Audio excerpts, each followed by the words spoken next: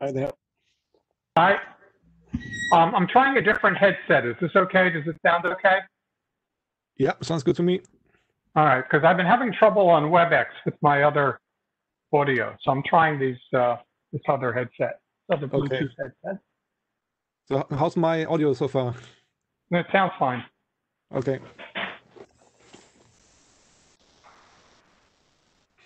So I already put something in the notes Yeah. so we can good. track who's who's being assigned what action items. Yeah.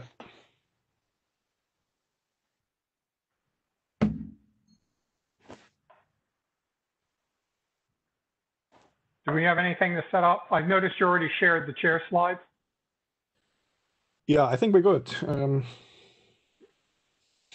so I, I don't think we we have to assign a, a note taker. I can just do it and or Okay, yeah, that Probably- seems fine. Yeah.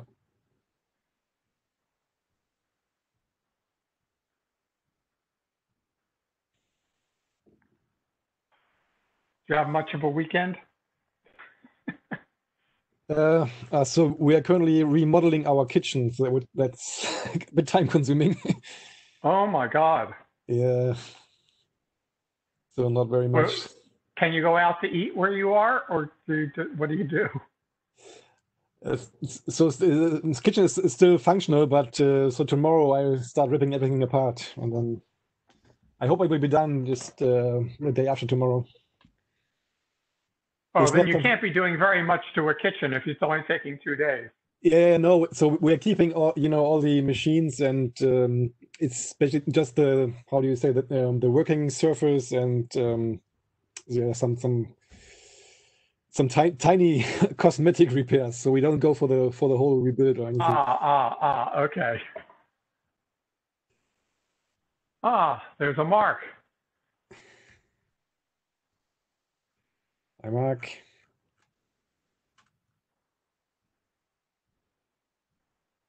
I wonder if we'll get any of the usual crowd besides the people who actually are involved in FLIC. We'll see. Yeah, let's see. Bit of an experiment. You know, I really dislike the fact that we don't have individual logins, so we can't tell that you and I are, are you can't rename ourselves in the participant list. Yeah, so what's really worrying that so I started the meeting, but it's listing you as the host. So Well, you can, you can, there's a menu item that says reclaim host role. Ah, right. Yeah, right.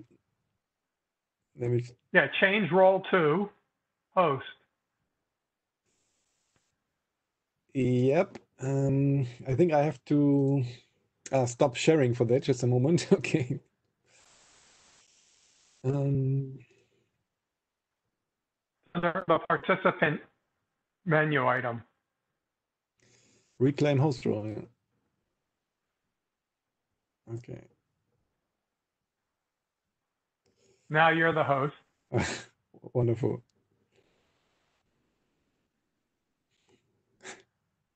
and now you can represent. Very good.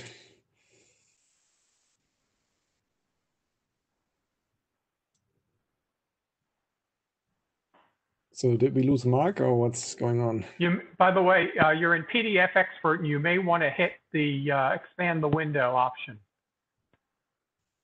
Ah, okay. Yeah.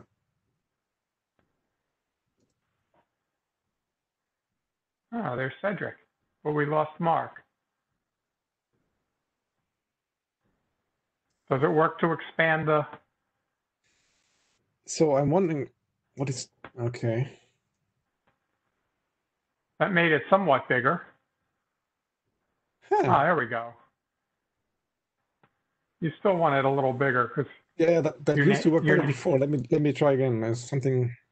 I think you might want to just hit the, the, the green, you know, expand the window button at the top. Yeah, but then it's full screen. That's not what I normally want. Okay.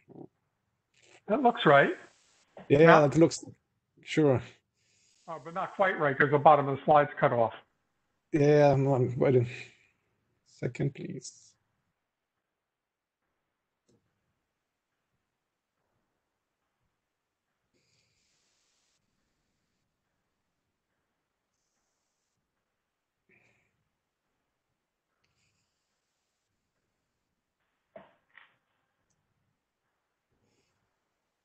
Good enough? Yeah. Okay.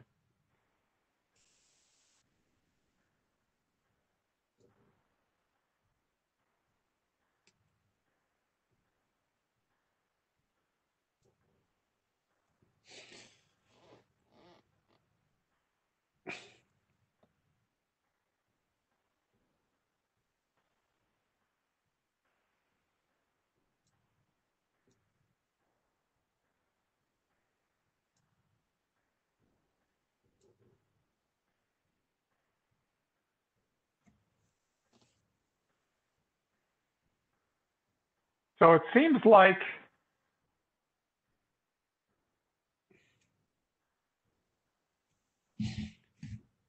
um, when I go to do my slides from, from Google, it doesn't seem to do the right thing. Do I have to export them or something? Um, so I did an, a PDF export of your slides, and that's what I have here. Ah, okay, fine. Because when I go into presentation mode out of Google Slides, it just goes full screen. Yeah. Yeah. And then I can't share that.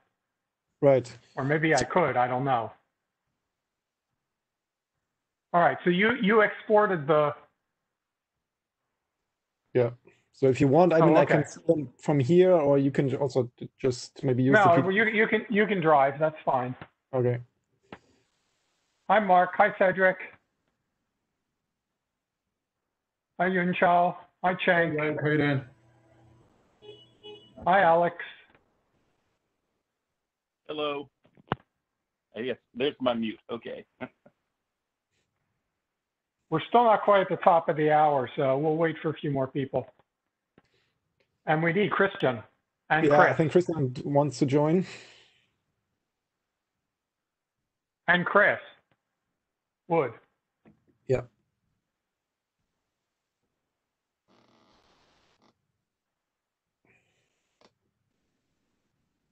Hi, Ken. I can. Hello, gentlemen and ladies, if there are any.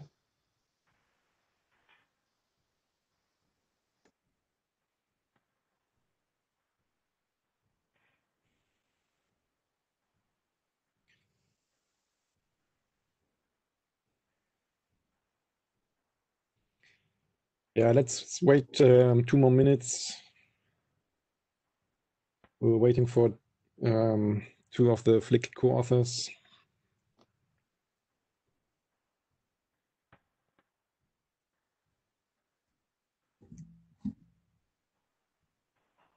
Ah, hi, Alicia.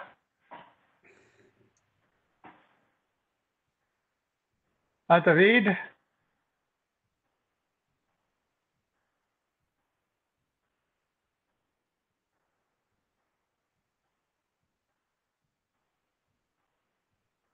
Apply. I we have a few conferences going on in my home, so I have to put on my headset first. Oh, okay. Hi. Oh, so Dirk, do you want me to walk briefly through the, the update slides that I did at the previous IETF that other people may not recall, or just let people look at them? We can we can uh, go through them. Yeah. You, you mean the the group items status or? The, the, this update status that I did at IETF 106. Ah, okay. Um, do you, so do you have them or? Yeah, Okay. yeah, I may even have them in PowerPoint so that I could share that directly. Okay. Uh, yeah, I got that. So I'll walk through that really fast since they've been presented before, but it'll help people catch up on exactly um, what's in O2. Yeah. So we can do that as the sort of like first thing Okay. uh, in the in that part of the meeting. Yeah. Yeah, let's let's um, start with the um, general part. Um, welcome Yeah, everybody. get.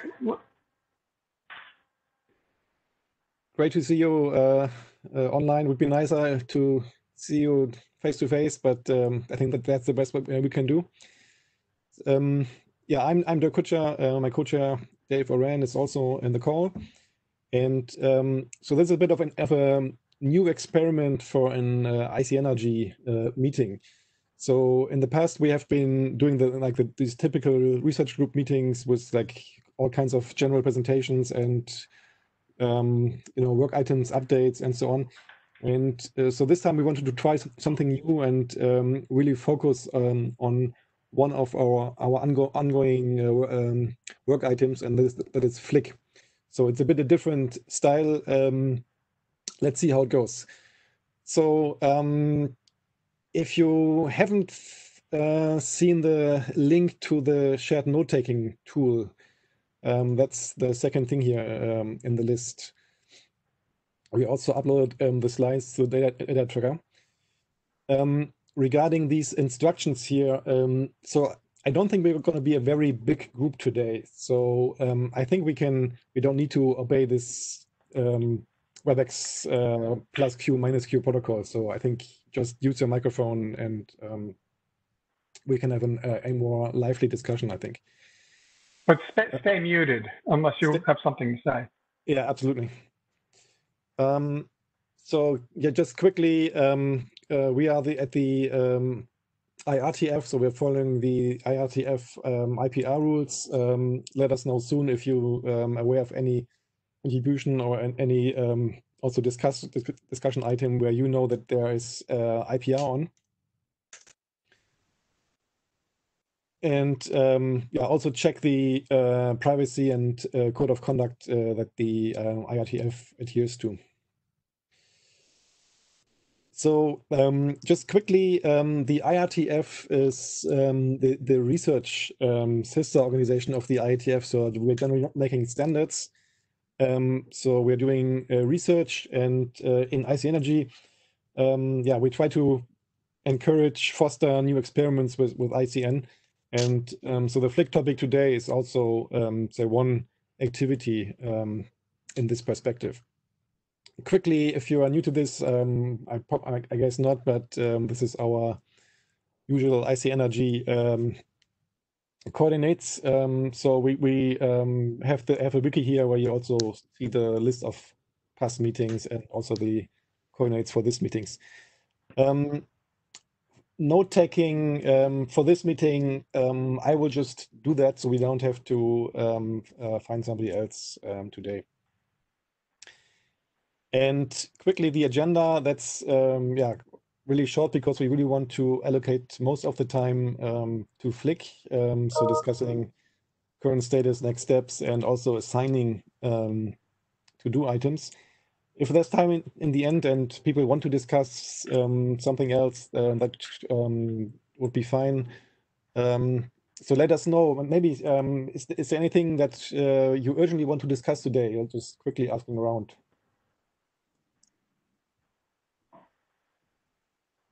So in general, um, we try to make it so that um, so we keep the um, admin updates and all these things uh, to the mailing list, um, and really try to use the meeting time um, for for discussion. But of course, if you anything that is uh, important and you would like to talk about it, uh, let us know. Um, just very quick update uh, on what happened in ICNRG, just very short. So um, we published, finally published the taxonomy document, uh, RFC 8793, uh, deployment guidelines uh, 8763. Uh, the disaster draft is in the RFC editor queue, so about to be published. Um, and the LoWPAN draft is almost through the ISG IANA review. and that took a bit of time. Um, the NIS documents are also in ISG review as well as um, Dave's uh, QoS architecture um, draft. As you had, uh, may have seen, uh, we had a, a, lively discussion on the IPOC draft that uh, we last called earlier. Um, thanks everybody who contributed into that discussion. Um, so we decided that, um, well, there has been substantial um, uh, feedback that seems to suggest, and that uh, we need to take another round on this. So we uh, send this back to the group now for um, a more substantial update. And finally, uh, the uh, time TLV specification has been updated. Um, please chime in uh, in the uh, email thread on, on the mailing list. Um, so we send out an, a call for um, feedback to um, adopting this. Um, and um, so it's also affecting a bit our, our core specifications. And um, yeah, so FLIC today. Um, so um, if you're new to FLIC, I, I, I don't hope so, but um, so uh, FLIC is like one of the key technologies um, for ICN that are really uh, important for um, publishing uh, larger sets of, of, static data. So a, um, in, in FLIC, um, we're talking about uh, manifests that are describing these uh, uh, file-like collections. And um, so it's uh, a, a, key mechanism that we need for many uh, applications that deal with these uh, larger static files. And um, also brings about, um, say, efficiency benefits that because you can um, basically um, treat the manifest as a, as a you know signed document that points to uh, hashed uh, chunks of, of one file. Um, and so it's uh, yeah widely used or should be widely used in in uh, many static um, content distribution scenarios. And um, so let, maybe let me switch to um, the other slide set that uh, Dave prepared. And um, just a moment here. So uh, I'll let you, I'll just call next slide when we need it. This is going to be yeah, really quick. Uh, next slide, current status. wait, so wait. We're, hello, hello? Yeah. Can you see it? Yeah. So um, here we are. We're, so the, the, the work on FLIC has gone in little little bursts here and there, and then sort of goes on the back burner for a while. Uh, so we did a burst on it prior to IETF 106, um, and, and then put it back on the back burner. So it sort of like keeps crawling slowly toward being finished, but but never quite getting there. So um, the current version has expired as a data tracker. Uh, we're not worried about that. We'll re uh, we'll refresh it from the output from this meeting and any action items that we do. Uh, but I would like to go through in a minute the status from IETF 106 so everybody's up to date on exactly where the document is at the moment. Next slide. So the next slide uh, just has all the resources you may need if you want to um, either get up to speed on FLIC or use it. Um, the spec is in GitHub, so we can use GitHub issues and uh, other techniques for tracking uh, changes and tracking um, issues. Uh, we have a Python implementation. Uh, there's a proposal for how to do group keying with FLIC, which is probably pretty important and people should look at um, and some initial thoughts that Mark wrote up on how to do key wrapping. So, um, so you don't have to re-key everything. Um, you can do key evolution on, on when keying the manifest. And we have some worked out examples. Next slide. Yep. Uh, we'll, we'll, this will be in the meeting material, so you'll be able to refer back to um, to those resources really easily just through the data tracker. So we're going to quickly go over um, what's the current status of the spec uh, via these update slides, decide what we really need to do right now uh, to get a re refresh of the draft, an list of action items that we believe are necessary to happen before we go to last call, and have a victim assigned for each of the action items. Um, so I think a reasonable goal, given that we're in August uh, at this point, um, is if we can put a little bit of a push on and people do some work, uh, we can get this document to uh, RG last call uh, before the next um, IETF cycle. So we're done there. If you'll give me the baton here, uh, Dirk, I'll Yeah. share this. Um,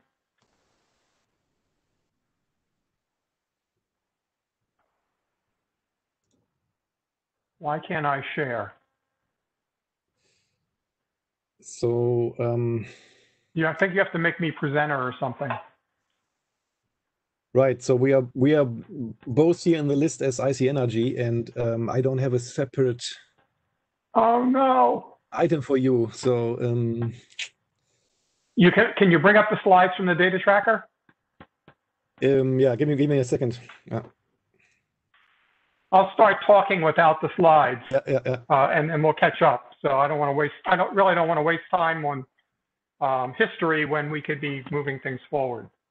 So the history is that this has been around for a long time. Um, manifests are in NDN considered a useful thing, but not fundamental. Um, so a lot of applications are written in a way that uh, individual content objects are completely independent of one another and each individually signed. Um, and manifests are, are um, a nice add-on that applications can use at their, at their convenience. However, in CCNX, uh, they're pretty much critical because the architecture in CCNX is heavily uh, biased toward most objects being named simply with hash names and not full names, with the idea that things that have full names are actually the manifests for collections of objects. So we have these things called nameless objects in CCNX that just have a hash. Um, and it's used for the segmentation of large objects, not, not just having um, a sequence number as one of the, uh, as the trailing um, element of the name. And also allows you to use these manifests as collections, uh, like directories, uh, for structuring lower parts of a namespace. Um, so it's been implemented and in use all along on a lot of applications. Next slide. Ah, so some things haven't changed from the last uh, time we went on. Uh, so uh, all the basics are still there. FLIC still has the metadata in the manifest and encryption keys. This is a very important thing to point out. The, your signatures on manifests are expected to be in the same key, domain, and trust schema as uh, the data itself for signing manifests. But our expectation is that you may want the encryption keys on manifests to be different from the encryption keys used for data uh, for a whole variety of reasons. But one is that you may want forwarders to be able to read manifests even if they can't read data in order to do things like prefetching um, and uh, instrumentation uh, of data flowing through them. Next slide. Yeah, so what's changed is the first, so one major change is that um, namespaces are explicitly supported in, in FLIC. Uh, so you can have a hash-based namespace, uh, a single rooted namespace, or a segmented namespace, and those can be used for a variety of things. So for example, uh, for just getting at pieces of a single object, you can use the nameless version with just the hash names. Single prefix allows you to have a manifest that names a, a single object that then points to the, the, the other ones. And the segmented pre prefix allows you to have every name be unique, which is what you might want to use for collection like a directory or some um, element of, of uh, enumerating the members of a lower part of a namespace. So each hash group, which is the sort of fundamental data structure, can have its own namespace. Next slide.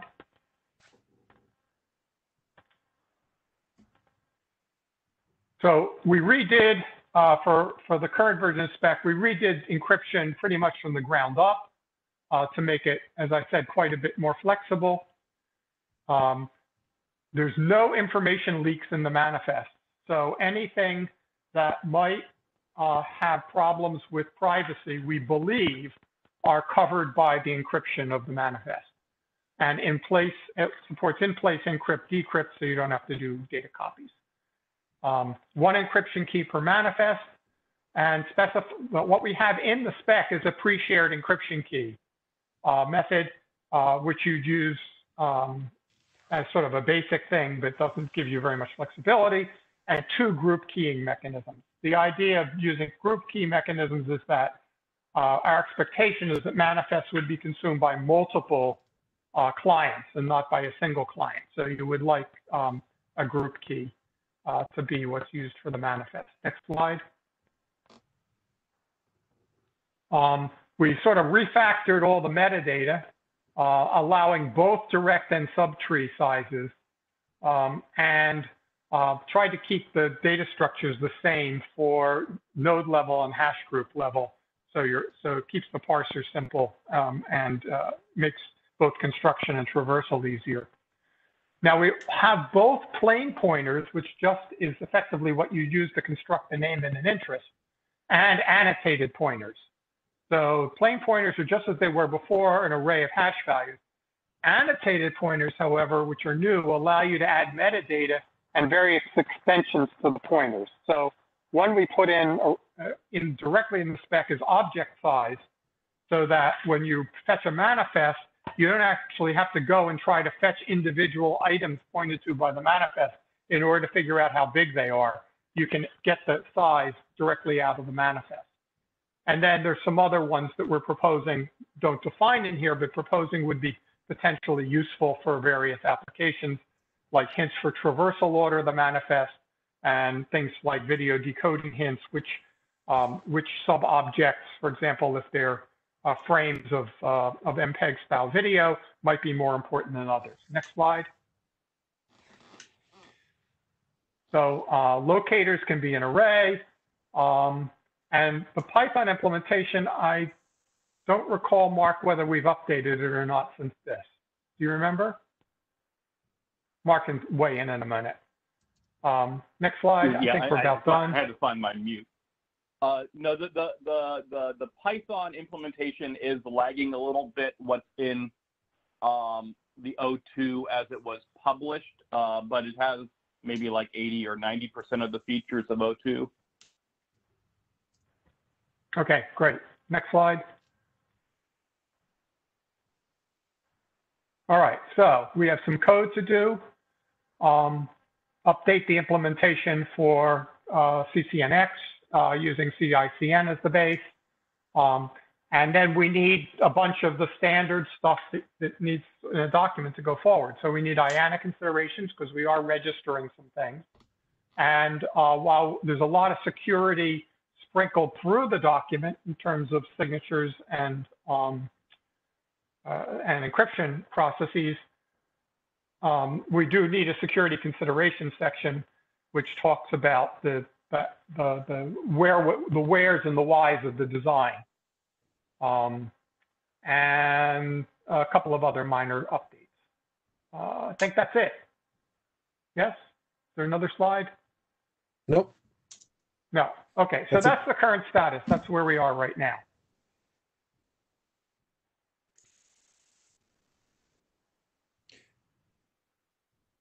Okay. So, um, how to move on? Do we um, do have do, does anybody have any other ideas or leftover items that we still that we, we forgot to talk uh, talk about?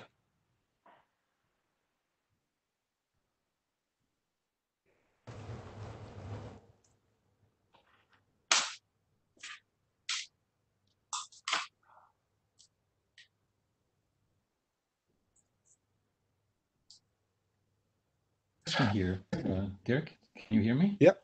Yes, we can. Uh, I was uh, thinking about, uh, let's quickly do a round of uh, where do we see the current write-up, uh, the scope of it, and uh, whether we already agree the thing still to be done assumes that uh, it's just about finishing here the pieces that are missing, but maybe we should quickly just make sure that we are all on the same page.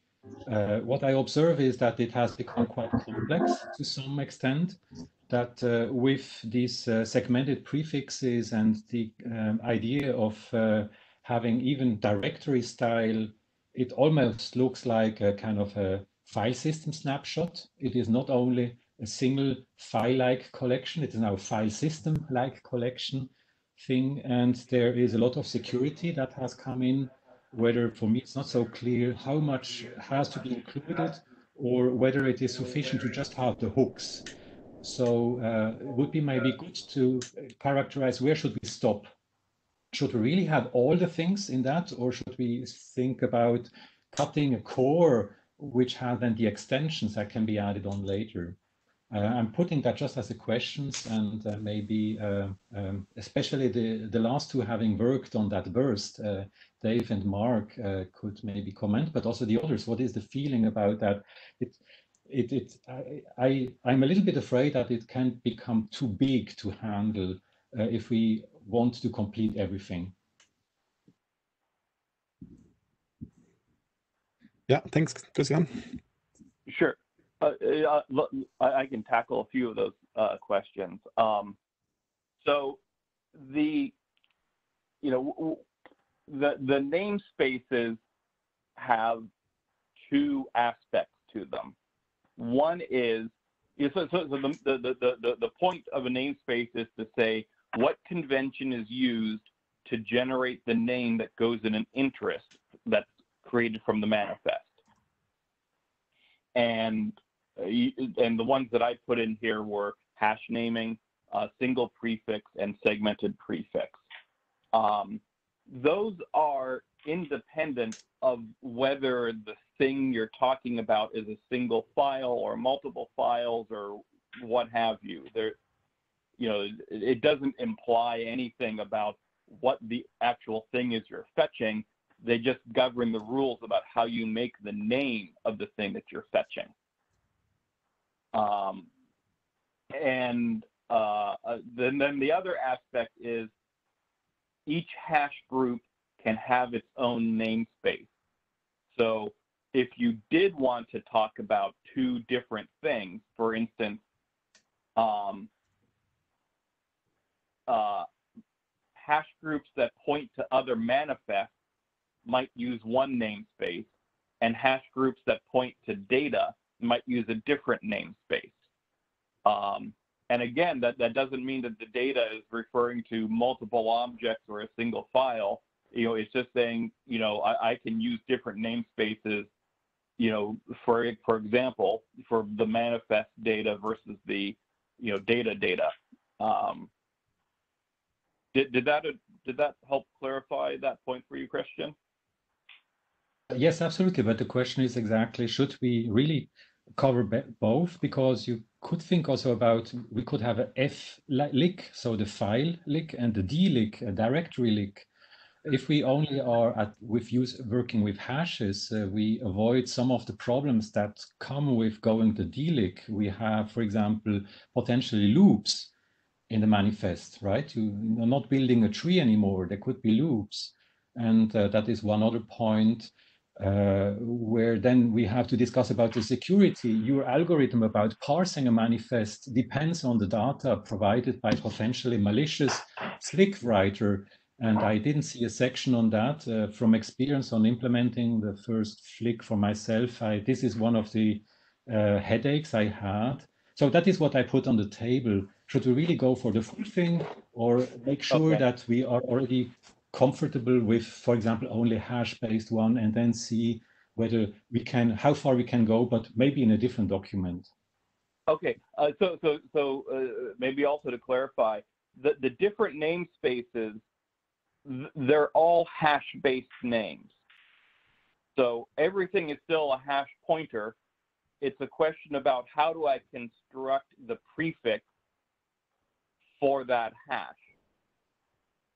Um, so you know, and whether you're going to use like you know, uh, uh, you know, routing hints or you know, locators or all that sort of stuff. The you know, so the namespaces govern how do I make the name that goes in an interest to retrieve a hash, but you're always retrieving a hash. I see. So you think uh, there is no loop for for example, just to take an example, we can't have loops uh, in what uh, is constructed. It's really the prefixes are just decorations. Yeah, that, that's that, that's right. Yeah, so I'm pretty sure there can't be loops because of the the the hash-based tree.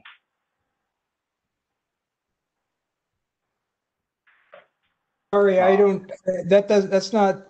Well, I haven't thought about it much, but That's not obvious to me. If you're going to take a pre, an arbitrary prefix and stick a hash on, uh, you know, a hash content hash restriction with it uh, to construct an interest, I don't see why you can't have loops. Um, Well, let's be careful. There's two types of loops we might be talking about. One is a retrieval loop and another is a traversal of the manifest loop. So if somebody's constructed, badly constructed what purports to be a manifest tree, uh, but the prefix that you use to um, fetch the next manifest in the manifest tree con- could conceivably create a loop.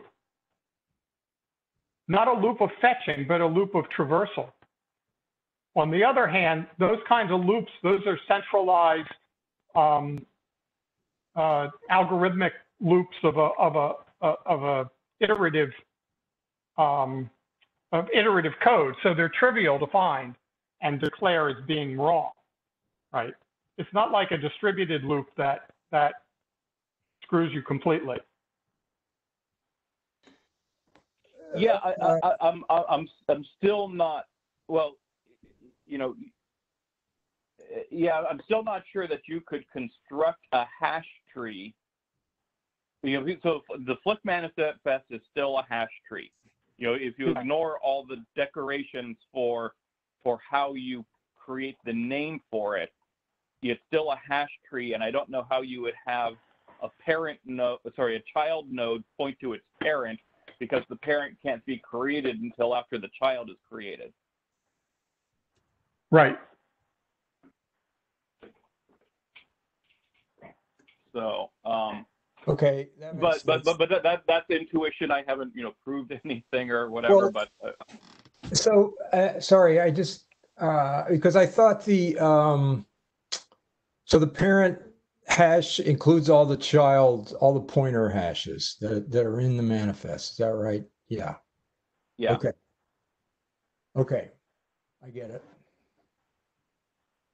Yeah, that's right. Because manifest trees are built, uh, they're traverse top down, they're built bottom up. But I do, I, um, I, I, sorry, go ahead, Marc. oh, okay. Oh, I, I I was going to I was going to switch to addressing Christian's second point about encryption. But but let let let's work let's work out this ha- hash thing in namespaces first. If there's more on that. So I want to, yeah, we can do that, but I want to come back to sort of like the, uh, the, the essence of Christian's question, which is if we're making things more complicated and putting features into the spec on the um, faith that somebody might want to use them and nobody in fact wants to use them, um, Occam's razor might lead one to the conclusion that we should not put them in yet. And um, and I, I think that's an, I think that's an open question. It's an open trade-off. I'm Yeah. obviously on the side of some of these things going in because, um, uh, you know, I've always been of the opinion that manifests are really pretty deep and fundamental in an ICN architecture. And hence, they're not just for uh, dealing with single large segmented objects. Right. They're, So- they're used So they're as used as a way of explicitly organizing your name your namespace as an adjunct to the hierarchical structure that the application creates. Yeah. So as far as far as the namespaces, um, CCN would prefer to use the hash-based naming, you know, in, in a lot of situations, and NDN would prefer to use the segmented prefix naming. So every data object has a unique name. That, that I mean, that's my understanding of the the the NDN preferences. Is you know everything should have a un- unique name, and um, you know we we want we want these manifests to accommodate what's the typical usage of the protocol. Um, and you know I, I wrote up ways that I believe NDN could work with all three different types of namespaces but we, we need to support you know what the preferred way of naming data objects is you know in, in that in that protocol so I, I i think i think that just to support the diversity of ways that people use these things, you know, having, you know, at least the two namespaces of hash-based naming and segmented prefix naming, you know, need to be in there. Um, you know, maybe you could throw out the single prefix name if, if you wanted to do that. So um, I sent a bunch of comments to the list, which uh, were linked in. Um, but let me, uh, my high level impression from reading this O2 draft was um, I think it, it seemed like it suffered a little bit from uh, trying to abstract from the differences between NDN and CCN. Uh, and there were places where term, I like I by the end of reading it, I couldn't quite figure out what a what a namespace was. Okay, I mean I had the general idea that Mark just described a minute ago, but um, I didn't know, for example, uh, well, there there was a bunch of stuff that I was still unclear about, and it may be because you know, I didn't realize there was a Python implementation. I didn't look at that, but I, I, I got the, I, I think I said this in my comments that I felt like maybe there was stuff that I should have known and didn't um, before looking at it. But, you know, when it, the, at the beginning, when it said inode, the inode model, I thought, okay, great. That's a simple, very uh, useful building block capability. And, but then as I read the document, there were all these options and, and possibilities for ways to use the thing. And that just it made it harder for me to understand what actually was was there and wasn't there. And Right. Well, remember that I, inodes for blocks of files are different from inodes for directories.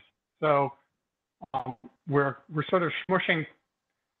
And inodes are not inodes in terms of their their actual bits on the disk are the same, but inodes as interpreted by anything that uses them are different for pieces of a file from a directory. Yeah, I, I understand that, and I my think well, uh, you know, it just seems to me like it's kind of not a good, not necessarily a good idea to smoosh those things together, or at least if I'm building an application, uh, do I put my directory hierarchy in my manifest or do I put it in the namespace? And um, how do I decide that? I mean, I don't know. I guess right. I'm I'm arguing maybe along with Christian for a simple thing to get started and get more experience with building applications. Uh, so, so Ken, you know, thanks a lot for your comments. Those, those that, that was really great to get those from you. Um, and and yeah, it it, it it it might be better to have the inode analogy in the beginning, and you know, like all good analogies, you know, keep it short and simple, and not try to carry it through the whole document. Um, the um, uh, yeah, I mean, one of the big differences is, um, uh, you know, the, the, the FLIC entries, you know, it, it's actually trying to have, you know, one format that serves both for, you know, um, more manifest entries, you know, a directory entry, and, and, and also the same thing for, you know, data entries. So, you know, the, the, the analogy to inodes is, you know, perhaps limited. Um, uh, the um, uh, okay can i ask a probably dumb question and this might be in there uh, might be in there somewhere but if if there's a if a hash pointer okay a, a hash value that's inside a manifest can i tell by looking at that whether that points to another manifest or to uh, application data? Yes. How? Um, the, the, all pointers are inside hash groups, and hash groups are are are explicitly marked as being uh, uh, manifest pointers versus uh, uh root object data pointers, correct? It, yeah, the, the, the, so yeah, so point, pointers can have labels and you can have different hash groups, you know, whether it's a data group or a directory group.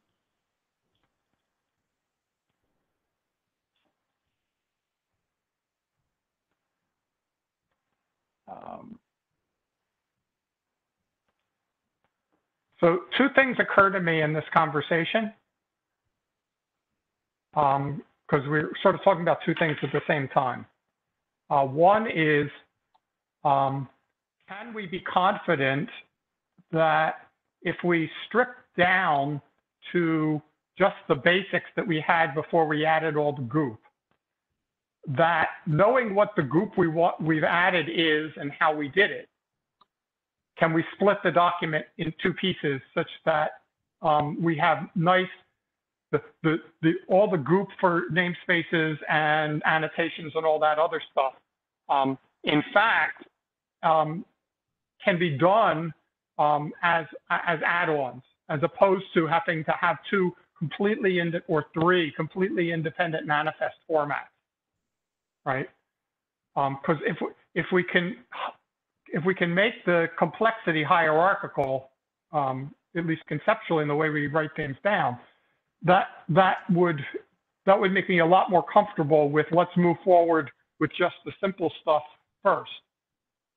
Um, the second thing is, uh, and I'm realizing from the conversation is um, calling the way you um, put something in the manifest to tell somebody how to construct names and interest a namespace. That's probably a very bad choice of terminology because anybody who's not who's coming at this naively is going to go, what, what the, what the hell? That what this is? I know what a namespace is, and it isn't this. So it occurs to me that maybe we need to change the terminology there and call it something like name, um, you know, name constructors. Sure. As, yep. as opposed to namespaces. We have three kinds of name constructors. and, uh, and, and to more fully answer the question about um, can you tell whether it's a manifest or, or a data? Um, not necessarily. So, you know, in the simplest manifest, you have a single hash group and there are hash pointers and you don't know what you what you're going to get until you get it. Um, well, Sorry, but then is there some kind of magic number? I, I guess you got to, I mean, are the types guaranteed to be distinct from any application data? I mean, I don't know how you tell once you get it. Yeah, yeah. When you, when you actually retrieve the thing, you'll be able to tell this is application data or this is a manifest. Um, yeah, the only issue is whether you have to fetch it first before you know what you've got. Right. So, so you know, a, a, a different way of constructing this is to use one hash group for data and one hash group for manifests, or, or you could interleave them. You could have multiples of each type, um, or to use annotated data pointers where it's not just an array of hashes, but you have an indication about whether this hash is a data pointer or a manifest pointer.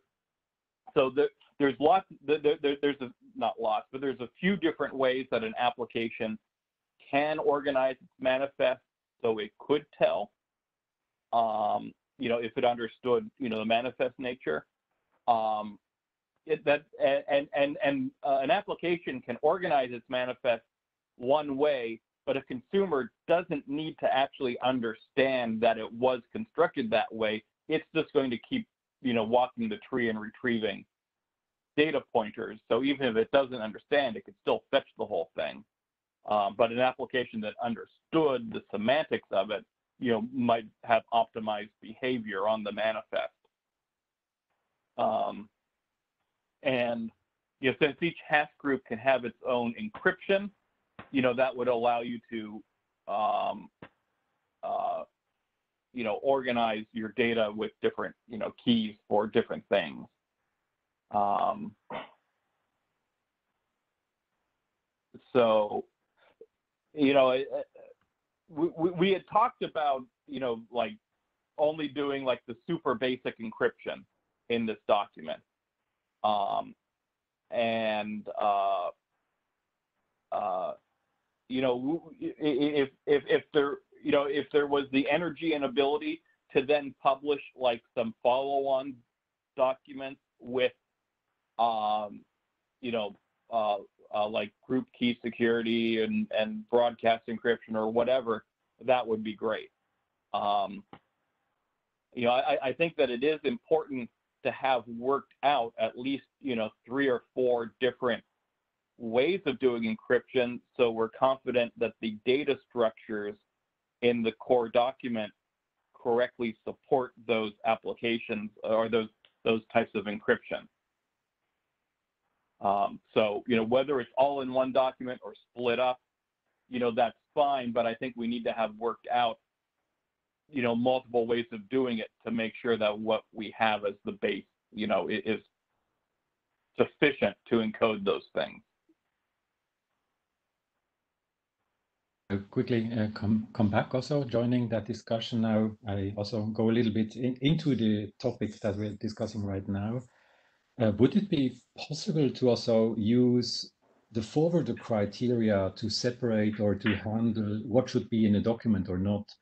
Uh, all the directory related discussions uh, might not be really uh, digested by any forwarder, while the pure hash-based tree, uh, that might be still in the reach of a forwarder. So I'm thinking here really in terms of trying to split the file system style uh, document and then keep exactly as uh, Dave already uh, played out. We have only one level of inodes, and it's now a different level of looking at what is inside these uh, things collected by uh, an index table or inode. And so we would have also two different documents for that. One that only looks at the, I, uh, the inode level without knowing anything about directories, uh, but the forwarder could make benefit of that. And everything on top of that, what is then typically used, uh, called a logical file system, would be handled differently in a different document. What, what do you mean by? So Christian, let me ask you a question. Can I, can I ask Christian a question here? Yeah, yeah. Yes. So one of the things that um, uh, I found useful in applications is to be able to give an application hints about various things like traversal order and importance.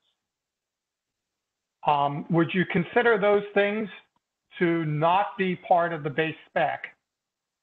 And if they're not part of the base spec, um, we would at least in the base spec have to have more than just hash pointers. We need to have an extension mechanism so you could add these things to hash pointers in a different document.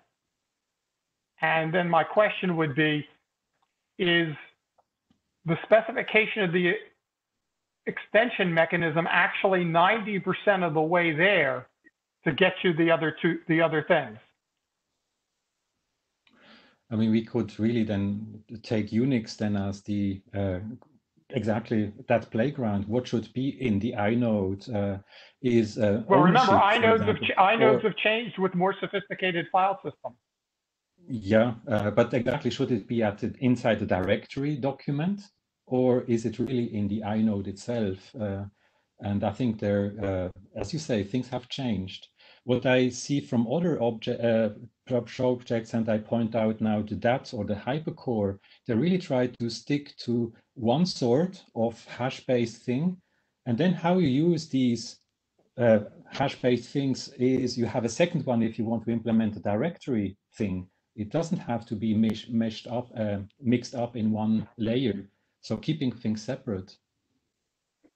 So what, I mean, you say a base document, there could be also two base documents. One exactly only the inode level, the, the hash-based pure binary thing. And then the second more uh, file system annotation, hints, whatever you want in a second one. They, uh, of course, both would be existing, but uh, they would have a clear focus and uh, you would, wouldn't have one some of the questions we had today.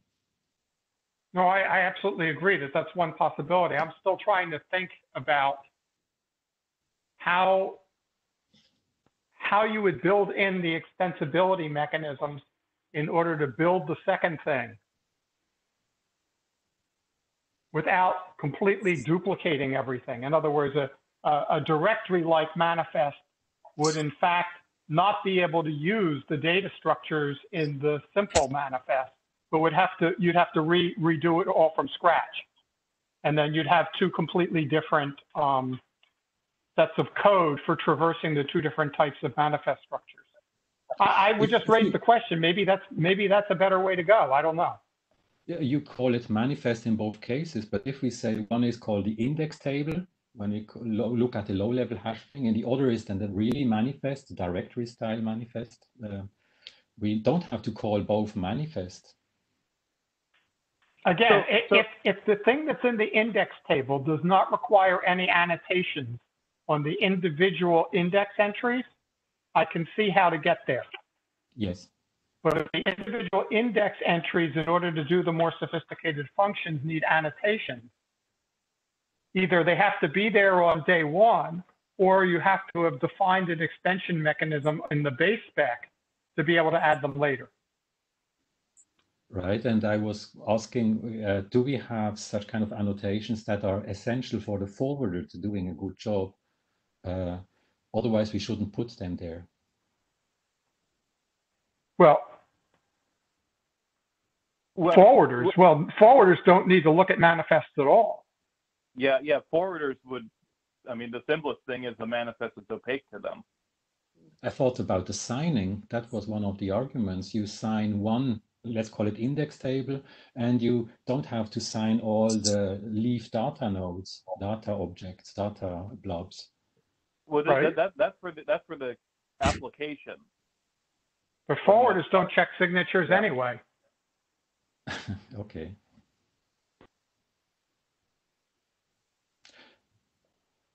Well, uh, I, I was saying one thing. I, I would be interested in more people uh, also uh, joining in here in the discussion.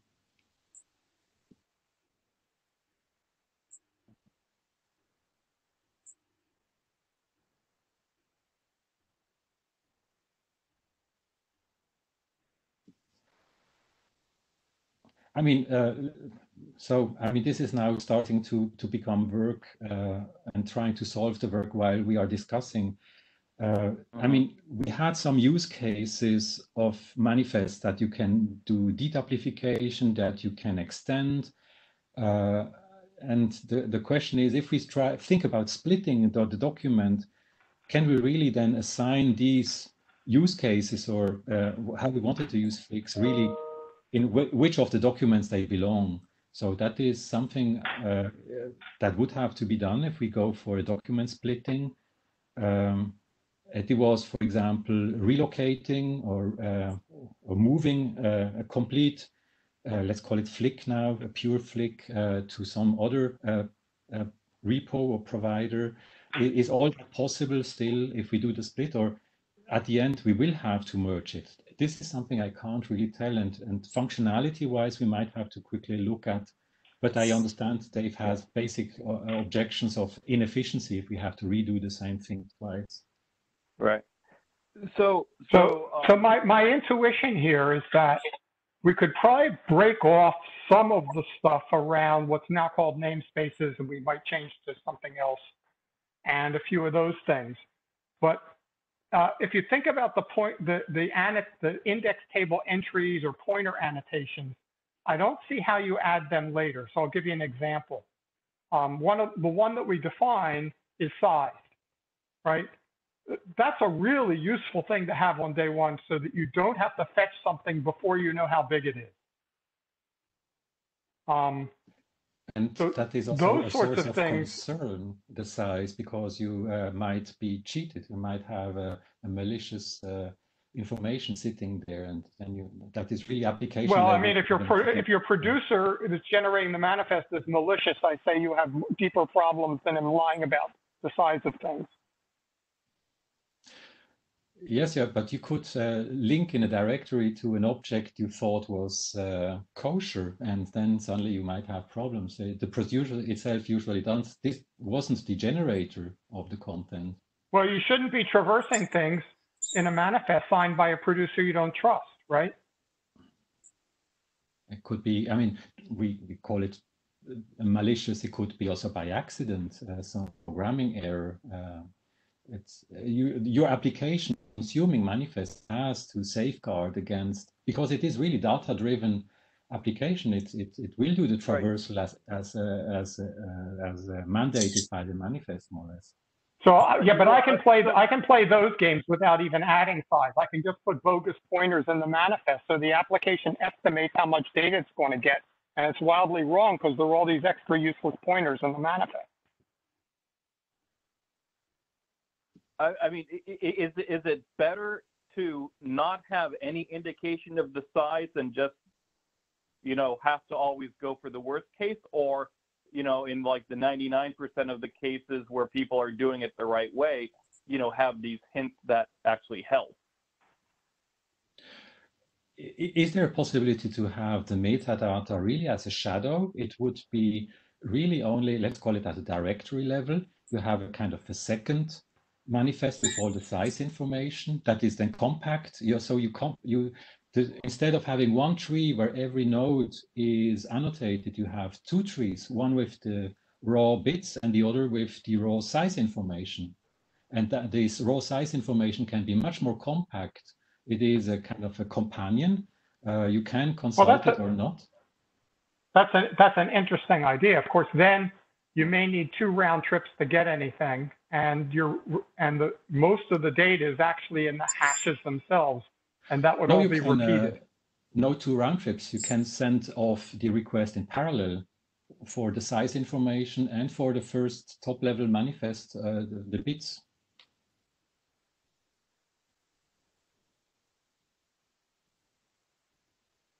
Yeah, so so so doing doing a parallel tree metadata, you know, whether it's size information or Yes. you know, the, like the, like the other annotations that you would typically typically put in there are things like, does this hash point to another manifest or does this point to data? Um, or or things like you know time codes or you know, uh, you know other things that might help you pick the right thing to choose from.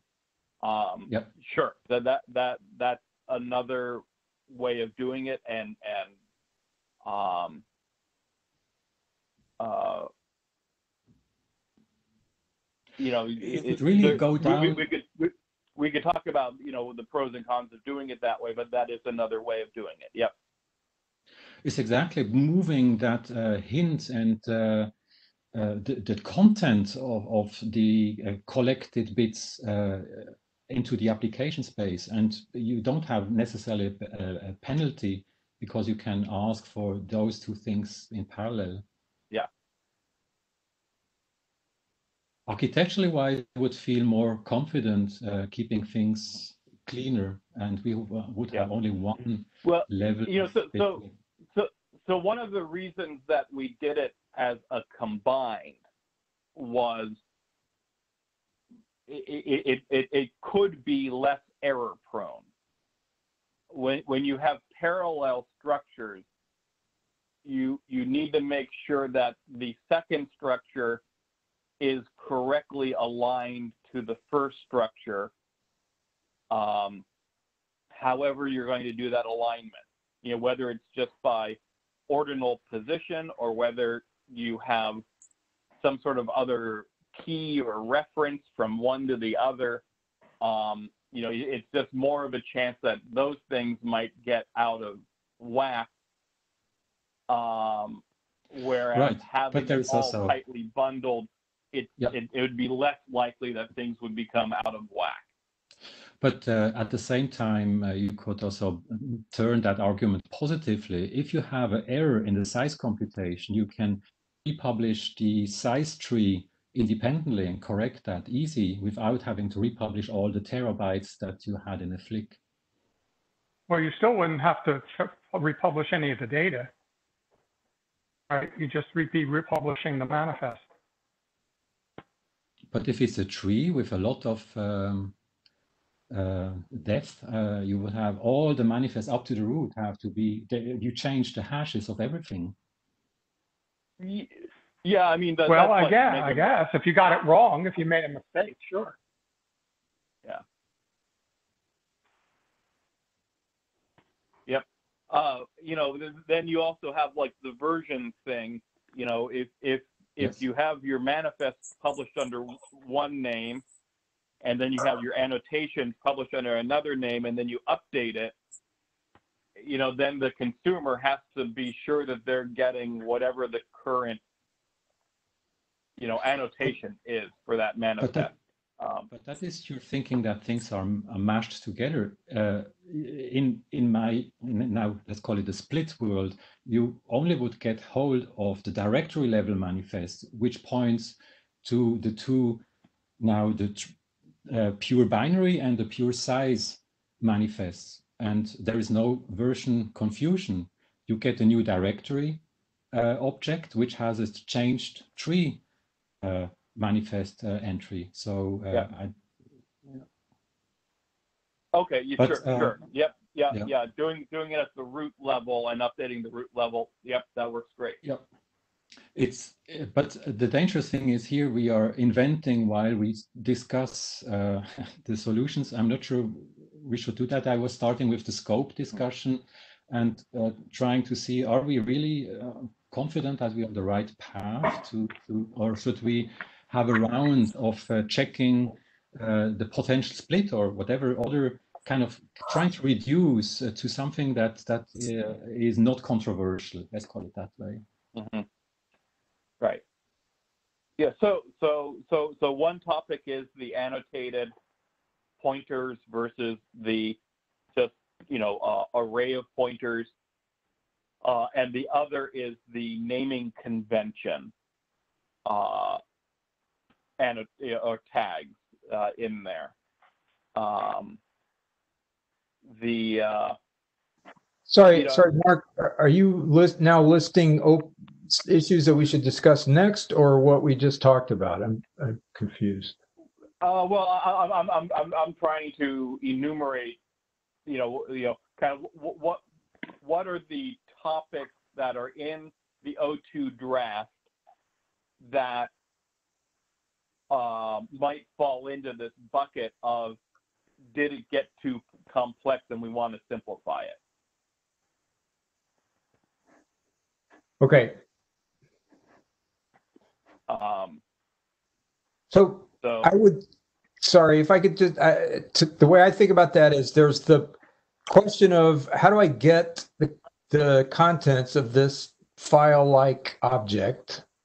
And then there's the sort of hint of arbitrary metadata that could be stuck in the manifest, which is what I came away from the O2 draft with, which is what kind of scared me. Right? Mhm. So I would, that's the part that I would argue strongly ought to be separated out from this thing. And I'd like, I like that last suggestion of having a pointer in the top level thing, and maybe you even have a top level manifest and then two different, uh, I don't know, a directory or something. But, um, okay, I'll shut up now and let you continue. Sorry. So I have a question about what we're what's the, what we're thinking about. So let's say you have the simple index table slash hash group structure that doesn't have any annotations on the individual array um, entries. What's the proposal for the separate thing that would contain, for example, a size annotation? Because they're, they're, they're going to be potentially, if there's n entries in a hash group, they're going to be n size entries in this other data structure. So you line them up somehow by array index or something in a separate data structure. I'm, I'm sort of lost. Well, yeah, yeah. So, so there'd be a bunch of different ways of doing it. You know, that that, that might be getting too in the weeds. Um, but uh, yeah, that's that's what I was saying. You know, there, there, there there's there's issues about how they might get out of sync that that you have to be careful about. Uh, what I'm, uh, you know, maybe a related question to that is, if we just have the simple hash pointer manifest with no annotations in this top level manifest that says this is the data and this is the annotation, how does it say that?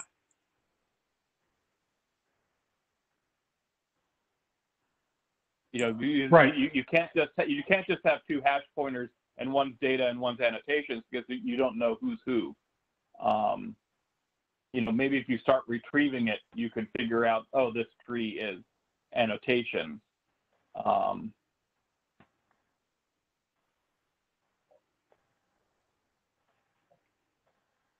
Yeah, well, we don't have to, we don't have to design it here. Uh, uh, yeah. Exactly. That's for sure. Uh, the, the meta level would be uh, should we start a kind of investigation? Uh, can we uh, do the split or do we lose so much that we should stick to the current uh, O2 version uh, and maybe just then discuss point by point uh, what should be sticking there? So that is my Yeah. proposal. So one- uh, one thing- one- the split. So one thing I think we could split out is what's been called namespaces. Right? In other words, the basic document assumes you know how to construct an interest name and fetch things when all you have are the hash pointers. And the second document says um, maybe only allow it in a top level manifest, which limits your flexibility somewhat, but not a lot. Um, that says, you know, this top level manifest has this extra data structure that contains the name constructors. So I, I can see how to pull that apart relatively easily because that's not the same order of uh, data duplication as you'd see in something that might want to be a, attached to every single um, array entry in a hash group.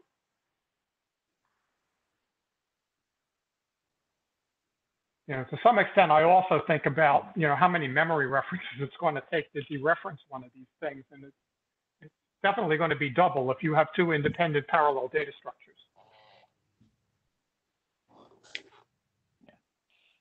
Yeah, uh, you know, w- w- one one path, you know, we, we tried to avoid was saying there, you know, you know, you know, ignoring the annotations for now, but just talking about what I called namespaces is not having a different, um, you know, a, a, a, a schema for a root manifest versus a, you know, interior node versus a leaf manifest you know, the way it's written right now, there's just one syntax for all manifests, whether, you know, regardless of its position.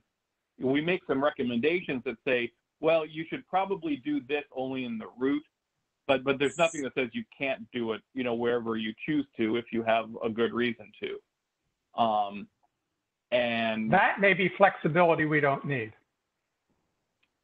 Well, you know, then then you need to say, well, you know, if, the root manifest has a special syntax, what happens if I want to make a manifest that points to root manifest because they're no longer root manifests anymore?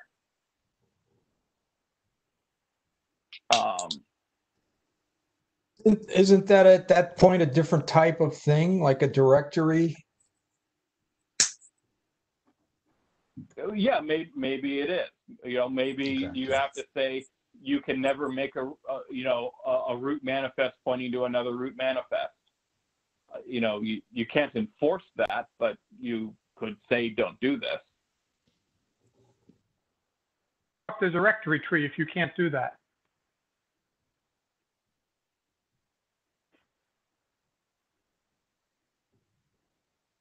Um, tr- trying to go again to meta level, uh, should we continue that content discussion to decide whether to split or not?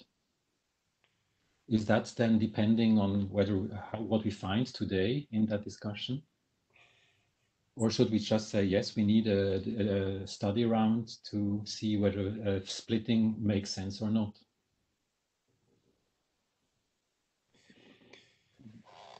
So, um, Christian, um, what are exactly um, the reasons um, to split the document into like one or two with different features? Is it because you think the features are controversial and we're not quite sure yet uh, which one we really need, or is it just the complexity argument that we uh, may take too long to to get them you know, written up correctly?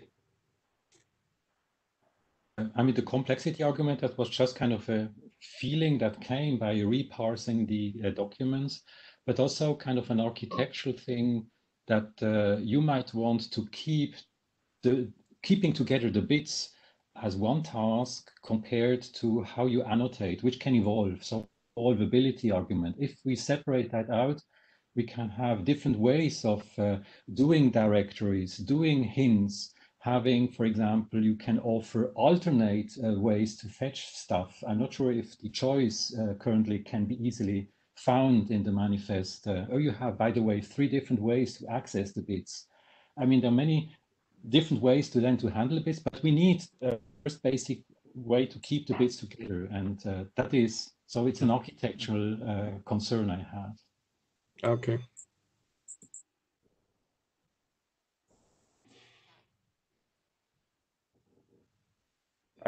So yeah, I, I mean, you know, you know, clearly you could put a pointer, you know, at the top level of a manifest that says, you know, here's where you could find, you know, some sort of annotation for this manifest, um, and and not, you know, and you know, you could leave the specifications about what those look like to separate documents. Um, the uh, you know, I, I, I guess, you know, I, I, I don't, I don't really like the idea of having the format of a manifest depend upon the location of the manifest in the tree. Um, and I, I also like having the flexibility for a producer to be able to repeat information wherever they want in the manifest tree. So you know, maybe one person wants to just put like the annotation pointer and the namespace construction directive in in in some top level thing and, and, people always have to fetch that and walk down from it. You know another producer might say well you know i know that there's these breakpoints every so often where someone might be joining in uh you know in the middle of the manifest tree and I want to be able to repeat this information every so often to either update what I'm doing um, or to, you know, give them the hint. It's like, you know, hey, just as a reminder, this is what we're doing, you know, for the creation, things like that.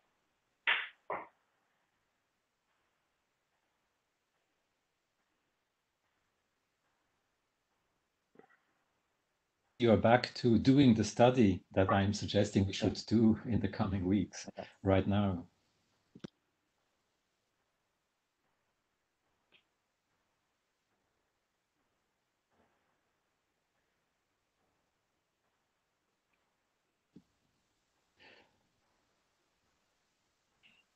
Well, uh, the one of the slides said we need volunteers. So uh, if I said uh, I volunteer to take part of a brainstorm afternoon uh, and exactly do that uh, split discussion. Is it worth or not? Um, so who would join? Who would uh, join me in, in doing such an exercise? Or am, am I running here too traversal and you would like rather prefer to go on with the current path and just uh, get it re ready for November and we, we don't consider splitting at all? Well, we want to get things. We want to get things right. We don't want to. I mean, this is a research group, right? So we're not driving towards some kind of standardization that has, you know, five five G deployment deadlines and stuff like that. So, you know, if there's important questions outstanding, that's the purpose of a research group, which is to explore them. Um, I would certainly participate because I'm a, I'm definitely an advocate of having annotated pointers. I think at the end of the day, it's way simpler than trying to correlate multiple data structures.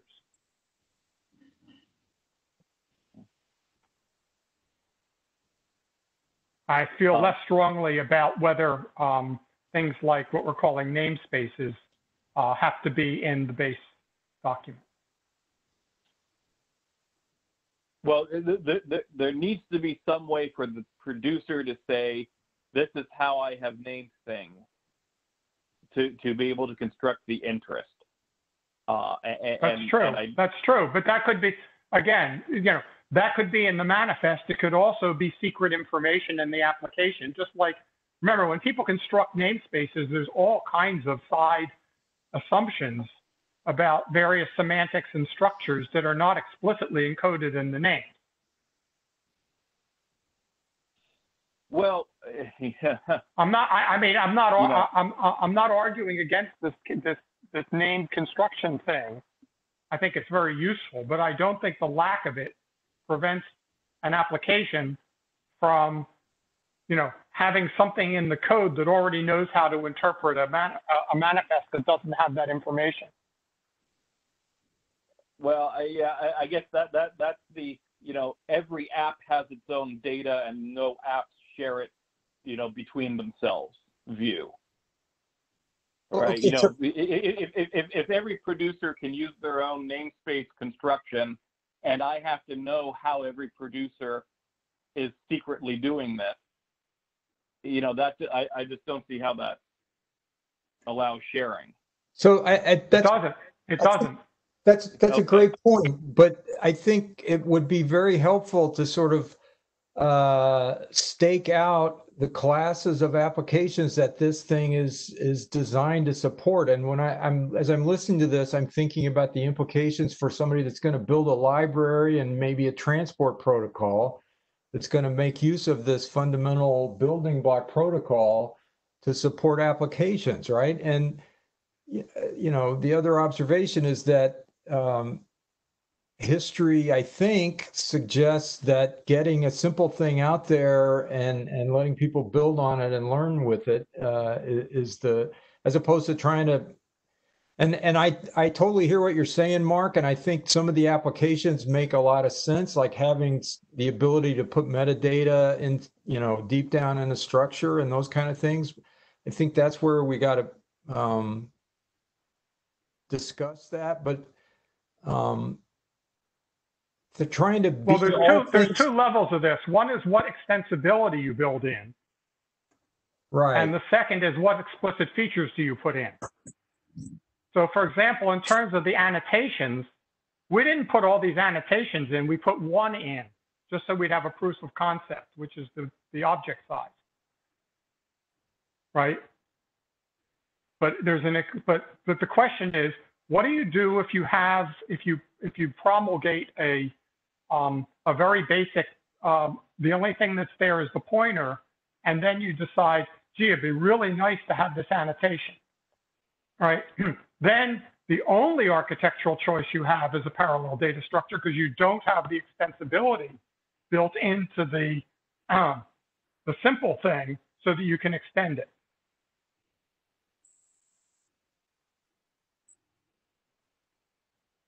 Right. So, I mean, I get your argument about simplicity, but I think there's an argument that um, simplicity lacking extensibility is is potentially um, a dead end.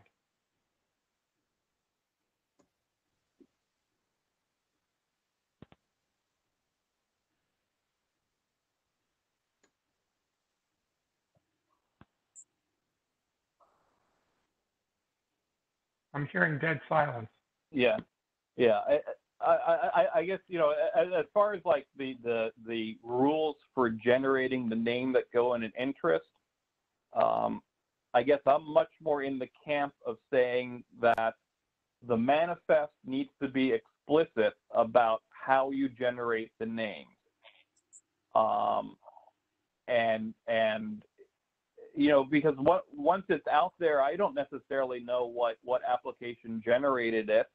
Um, you know, if you want these things to only be useful within one, you know, individual application domain, then sure, keep it, you know, opaque. But I, I, I really think that uh, a consumer should be able to fetch a manifest and be able to figure out how to generate the names corresponding to that manifest from the manifest itself. What do you think, Christian? trying to uh, organize my uh, conceptual space, what we're trying to do. Uh, if I try to compare the hash-based world, let's call it, this is the world's hard drive. And uh, how many different file systems can you put on top of that? Because that is what uh, is the interest name generation. There might be different ways to do that. Uh, so um, I, I see your argument about sensibility. Where should it be?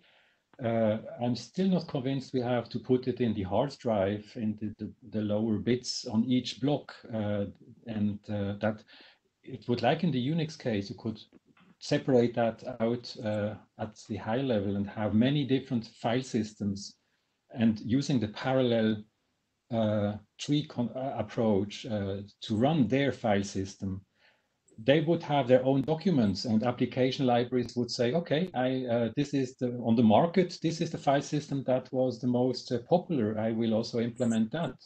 Uh, so, so, uh, so Christian, let's get away from the file system argument because every modern file system had to redo inodes from scratch because the base inode didn't have what they needed inodes for ZFS are different from inodes from APFS that are different from inodes from HFS plus, and none of them was able to leverage the fact that the, back at the EXT2 days, there was a simple inode. They didn't layer it on top. They redid the inodes on the on-disk structure. Now, I, I, I think you may be right about manifest but I think the file system argument completely falls apart. Okay, so I would probably then start thinking about having an intermediate uh, uh, annotation layer, uh, three different parallel structures, but uh, I, I see the, the, the, critique that will immediately come for that. But I try to put it again on the meta level. Uh, I would, I think it's worth doing that uh, study uh, we have now spent now, what is it, um, an hour 20. Uh, yeah. I'm not sure we conclude today. Uh, so um, yeah, I still uh, stand to that. I, I, personally, I would like to take that one step back and uh, to have confidence that we are on the right path to go, uh, because it's really an architectural choice to put the possibility to have all things annotated at every manifest level and having exactly one manifest type for mingling together, bit keeping together, and that directory uh, tasks. Mm. So I, I, can somehow understand so the, the architectural argument, uh, Christian. Um, on the other hand, um, it's also a question, say, what level of um, perfection do we try to achieve here? I mean, it's it's not that um, I mean we have to find a um, say solid specification that will be used by all applications in, in the world uh, next week. It's more like we don't really know yet how applications um, will end up um, using um, FLIC um, manifest in the end. So what we I think are interested in in is um, enabling more experiments, enabling um, more people to to build applications and you know play with with uh, FLIC manifests, and that could be an argument um, to produce say one specification now that allows you to um, do all these things in like different ways so that we have this flexibility um, built in. So that could be an argument against splitting um, I, am not uh, saying that uh, we should only have one. The splitting would just be, it would be two parallel uh, drafts to be worked on. Just separate the stuff and uh, have a mechanism exactly, for example, the parallel tree construction. Uh, yeah. It would be the same functionality, just two different documents. Okay. I'm missing you. The, are you saying, and out, we, we do two ver, we, we do two manifest specifications, one in the style you're talking about and one in the style that's the current document, and then let mm-hmm. application people decide which one they want to try and experiment with. I would be in favor of that. Christ, we have two completely different um, no, no, wire format no, protocols. No, no, it would be the complement. So I still assume the split would be about the layering. You would have the bit level, uh, basic uh, FLIC, and uh, uh, as a second uh, companion. But what if we decide that the layered approach is wrong later? Well, then I bring and we've frozen the simple one and doesn't have extensibility mechanisms. Yes, so it's a question of time. Uh, if we think, if we find out that the integrated approach is wrong, then we will have to anyway split it. Uh, so I can also flip the argument here. I mean, remember, I mean, look, we're not going to get everything right, right? I mean, Yeah. I, I hate to, I'll bring it up. I know I'll get flamed by about 17 people on, on this call right now. Remember selectors, right? We didn't discover for five years that, select- for more than five years, the selectors are probably a bad idea. Right? So perhaps we'll put some features in now on the um, presumption that they're useful and find out later that they're not. That's certainly, that's certainly a danger. Right? But that's what research is about. Um, if, if I were confident that making the architectural decision to layer manifests in the way you're talking about would work out, I'd be a lot more comfortable. It just, it just feels, it feels like we're tying our hands Yeah. too early. Yeah. So, so you know, what? So one thing we should do is, is have a more technical discussion about what a parallel annotation approach would look like, uh, and, and and maybe come up with some examples about, you know, um, what what the different uh, objects would contain. Um, and you know, then maybe we'll discover that it's not quite so simple, especially if you're trying to, you know, fit everything into fixed size MTUs or or something like that. Um, so, but but but it you know th- that's a reasonable, you know, thing to think about and and you know see what it looks like. Um, you know, for for the namespace or or or you know name creation mechanism you know, it, it, it, doesn't need to be as uh, flexible as it is in the current draft. We could just make it, you know, like one thing that exists, you know, somewhere in the manifest and it's not repeated. It can't be different between hash groups. It's, you know, just a, you know, one specification. You know, that's fine as long as it's something. Um, you know, so we, we could simplify you know the, how how that is done.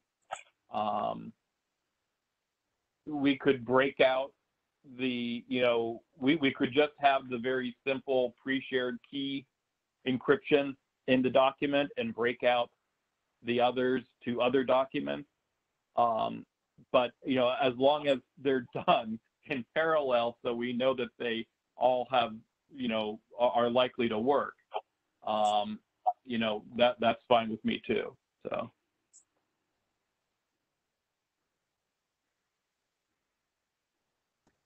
Yeah, I mean, one of the th- one of the things that uh, has to go into the conversation, of course, is that we we've worked very hard to get the signing and the encryption so that it's simple and works. Um, so if splitting things up in two layers complicates encryption um, or doesn't complicate encryption, that that that's that that makes it um, less of a burden. But if it turns out that it, it makes encryption harder, um, that's a counter argument, right?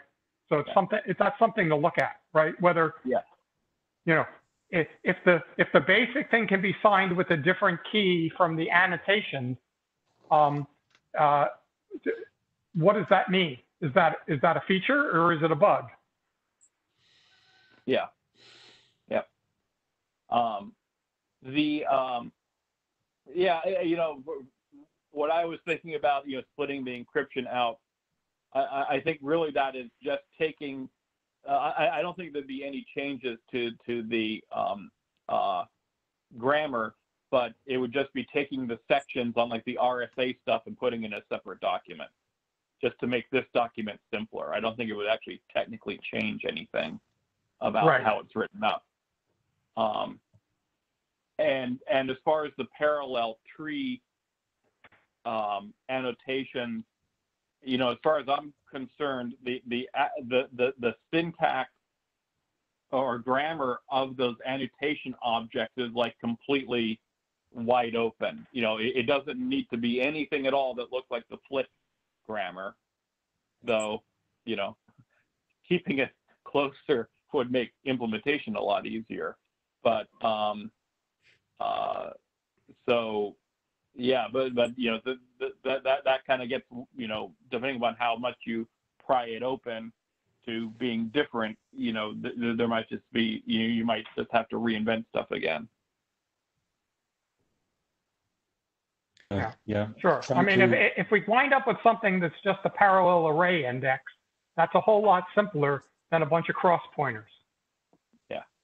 Yeah, par- parallel array won't work if you pack the data tree to the maximum MTU size you want to operate at.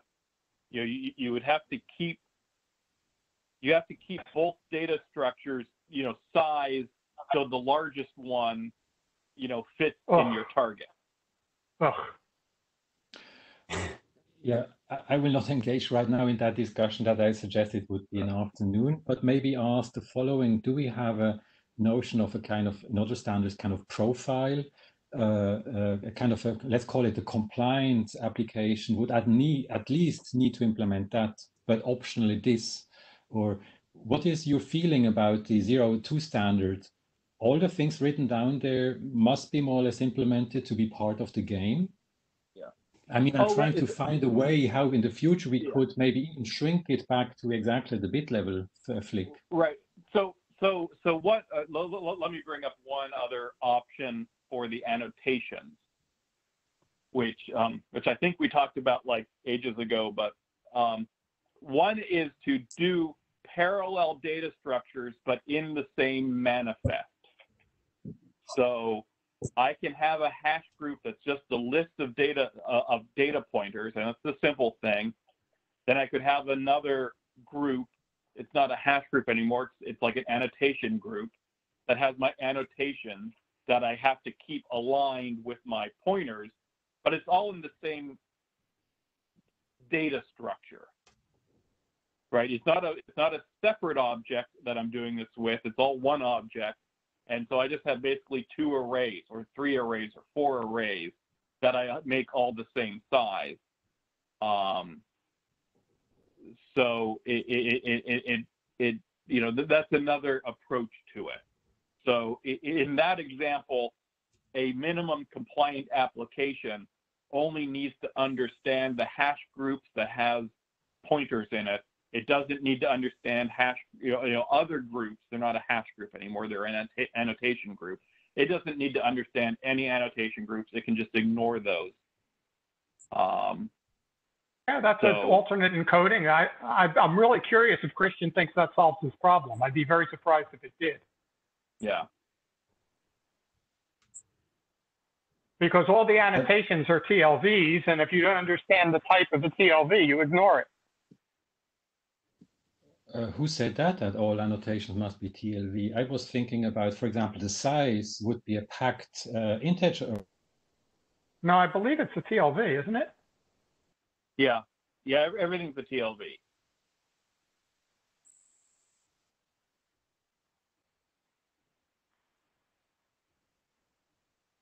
Well, between those two um, approaches, I don't have I don't have a preference. I'm happy to look at what the implications in terms of code complexity and performance would be, because they're semantically mm-hmm. equivalent.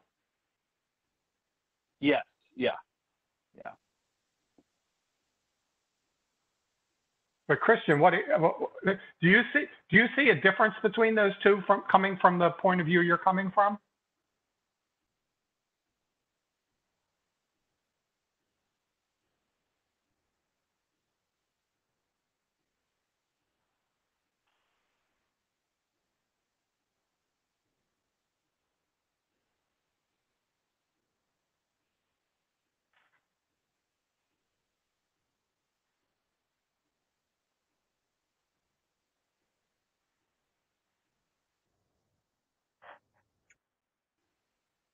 I don't Lose know. me, or do we lose Christian, or is somebody just thinking?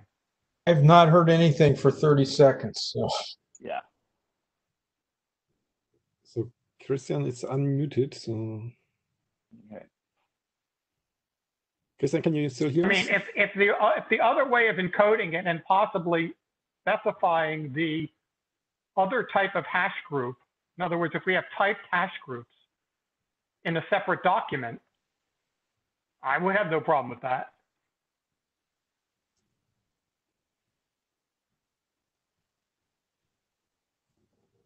Yeah, Yeah. so, you know, we, we would probably, you know, start just calling them like a group. And a hash group would be specifically a group that has hashes in it. Then you would have, you know, different annotation groups that would have whatever it is they have in them. Um, and those could all be specified in different documents.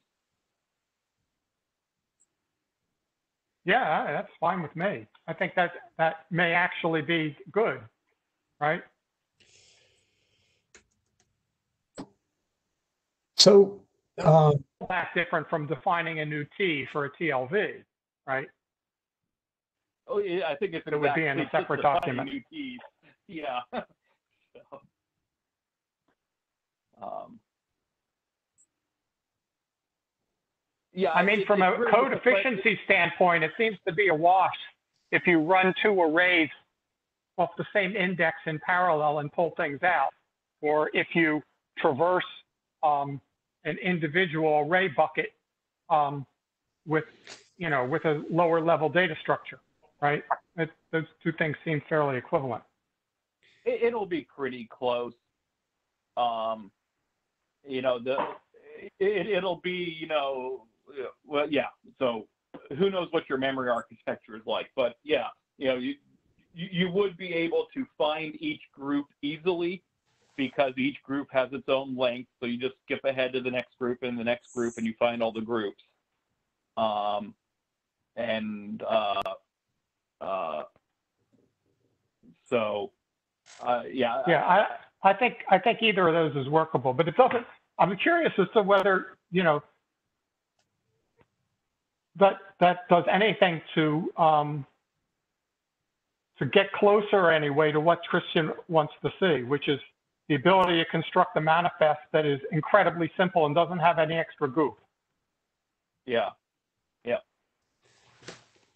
So, I mean, maybe as a, it's a we, we spent like 90 minutes um, on this now. Um, as a constructive proposal, um, how about um, planning for having this technical um, discussion on on the say doc document or specification structure, so that we kind of could plan for another meeting where we maybe invite um, say a few proposals. Um, so for how we organize the, um, the specification uh, in the future. So I'm I'm hoping that Christian would uh, be able to prepare some ideas. Maybe other people have some have some, some other suggestions, and then we can kind of try to resolve that question um, in a technical discussion.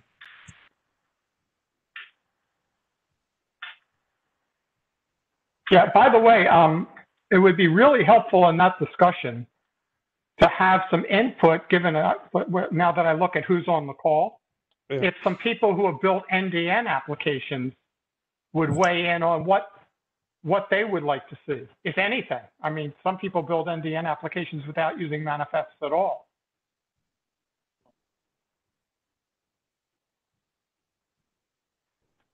I'd love to get input from, from that point of view as well, right?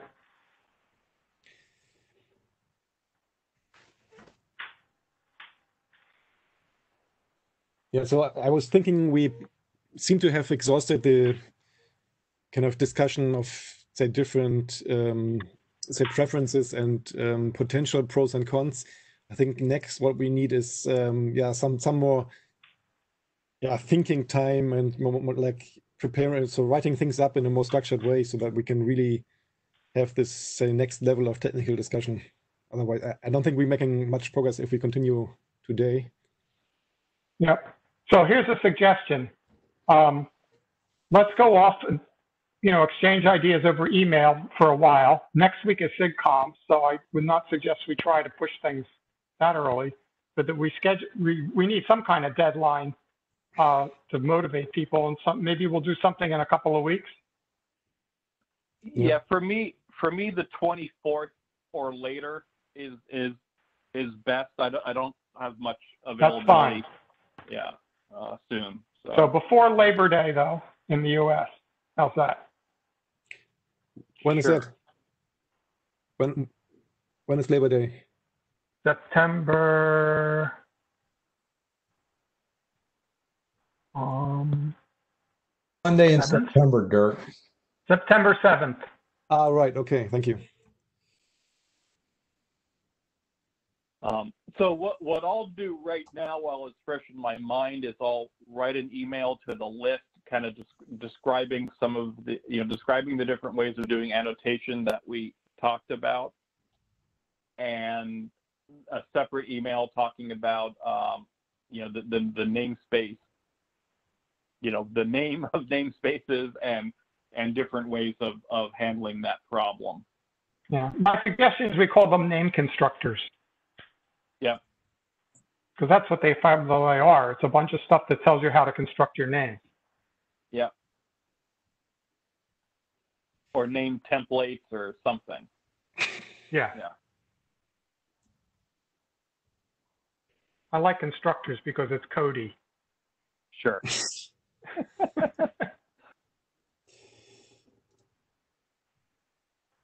So, but but uh, Marc, you said so. Um, after the 24th, you would be available, right?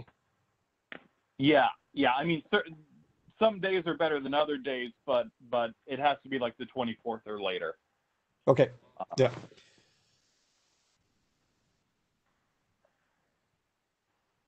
So any input, there's a whole bunch of people who have been monitoring the call who haven't said anything. Here's your opportunity.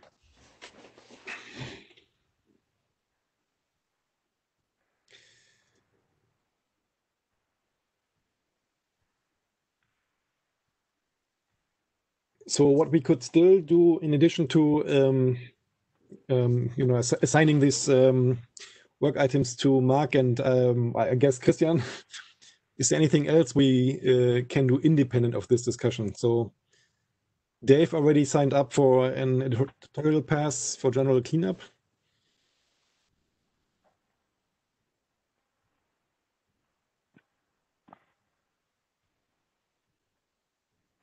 Is there anything else that can be done uh, independent of, of the other discussion? Be nice if signed up, somebody signed up for IANA considerations and security considerations. Those, those, those are probably relatively independent of some of the things we're working on.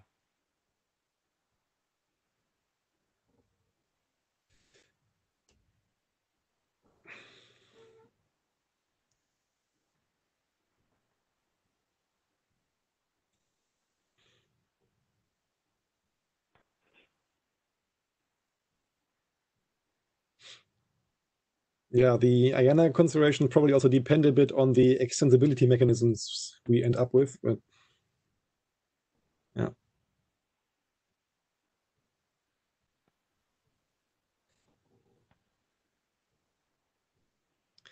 The other thing, so so independent of um, you know draft related things that could be useful is of course um, more implementation experience. So there's the Python code by Marc. Um, I guess Christian has his um, own code base. which is of course completely outdated by now and I'm quite frustrated with the C. I would also go for Python right now. That is the best way to prototype. Yeah.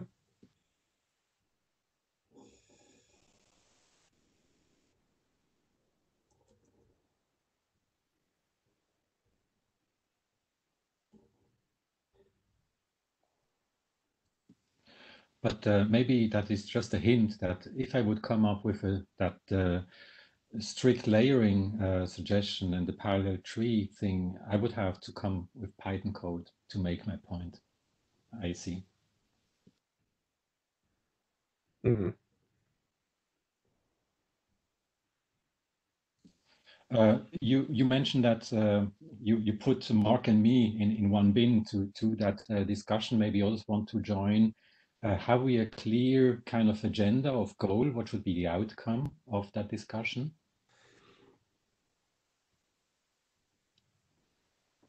I think the outcome should be um, ideally some kind of consensus how we want to um, structure the FLIC specifications or the specification in the future. So that means Okay, so, so a very uh, document-centric um, agenda. I yeah, I, I see the point. Yeah. well, I mean it, that all the the the way you structure the doc- document also depends on say the architectural technical approach you you apply. So I think it's both. Y- You know, I, I think that there's, you know, several distinct conversations that could be had. One Yeah. is how we want to handle annotations, you know, technically. And another is how we're going to handle the name constructors. And then another is how, you know, given the choices that we make, how are we going to organize the document or documents to describe all that? Mm.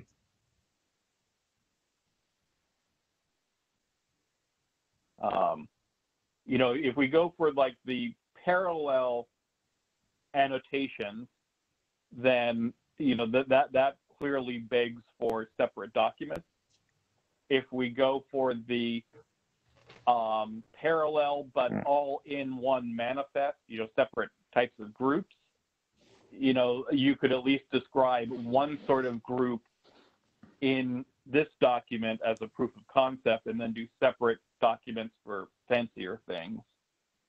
You could Um, do that, or just make sure the extensibility mechanism is care- carefully yeah, laid out, yeah, yeah, and have written at least one of the extension documents. yeah. um, so, so I, I think the more important things to like do first are to have the technical discussions about how do we want to solve annotations and how do we want to solve namespace constructors. But I think that the point that Dirk is making is quite important. Uh, uh, although we do the technical discussion, it has to come up with a recommendation, even if it's a first feeling. Probably it's better to go with one document. That's the, the correct path to continue, and not forget that uh, outcome of the meeting. hmm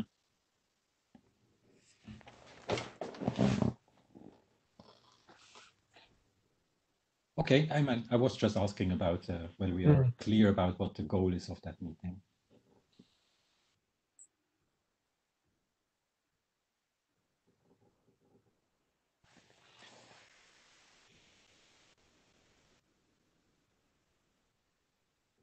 And it uh, would be great if if we could um, prepare this a little bit on uh, on the mail list by exchanging a f- a few ideas first.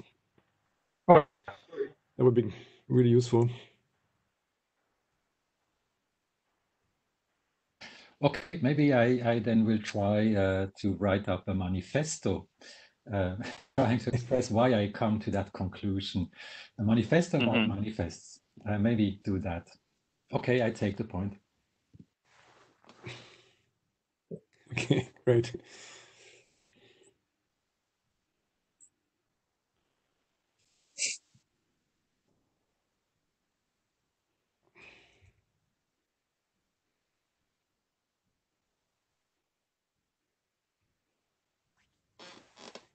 All right.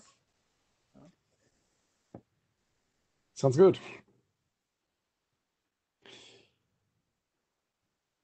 Yeah, I think um,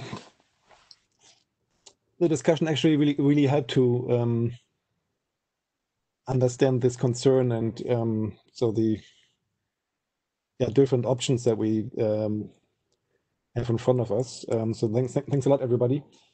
Um, so looking at the clock, it's here 1946. Um, is there anything else on on FLIC or the, the manifest topic at large that we should should uh, discuss or at least uh, bring up to not forget about?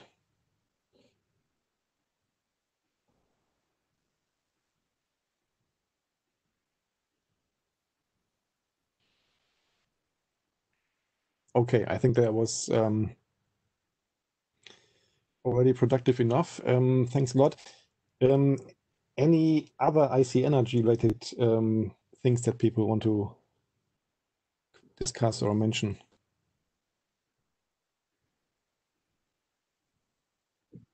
so from from our perspective, so Dave's and mine, um, we would suggest to you know continue the discussion on time TLV and so on uh, on the list. Yeah. And um, yeah, I think with that we are done. Thanks, everybody, for hanging in here. It's an important Thank you. topic. Yeah, thank you very much. Well, Thank you for pushing that and uh, yeah, for organizing the, the discussion. Okay. Ciao. Hope to see you soon. Yeah. Bye. Bye. Bye, everybody.